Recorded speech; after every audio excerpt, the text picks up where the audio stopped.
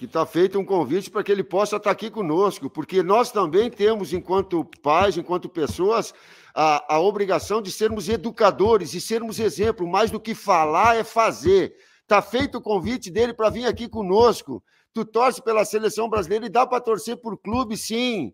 Dá para ter educação e dá para ter respeito por tudo. Cara, Bruninho, um abraço nosso de coração. Um homem de 60 anos que está cheio de cabelo branco, mas tem aprender um é. pouquinho na vida e aprender um pouquinho a respeitar, a respeitar sentimento e a respeitar que exemplos positivos eles vão fazer educar e nós termos uma sociedade um pouquinho melhor. Bruninho! Sim, cara, obrigado aí pela, por me salvar. A gente espera Ô, aqui. Eu, eu sou um palmeirense de uma família de corintiano. Eu joguei nos quatro grandes clubes aqui de São Paulo, né? Assim, consegui respeitar todas as camisas, eu sou consigo entrar e sair nesses quatro, né? Então, cara, assim, eu me solidarizo aí contigo. Você tem os seus ídolos, eu, eu tive meus ídolos também, né? Isso.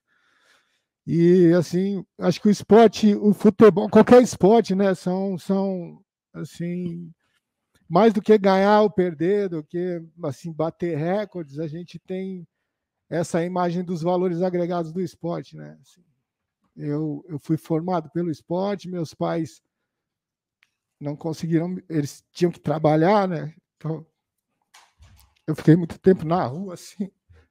E mas assim, não perca isso, cara.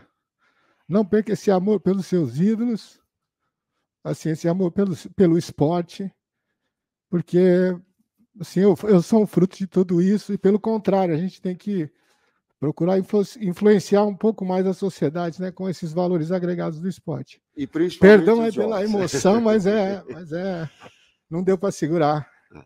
Muita e principalmente coisa. aos jovens, aquele Sim. que é mais adulto, aquele que nós representamos, que são mais, e aqueles que são mais adultos, que têm a sua, a sua opinião própria, a gente respeita. Mas se a gente pode influenciar e pode, de alguma forma, exemplificar as crianças, pô, que legal, que legal.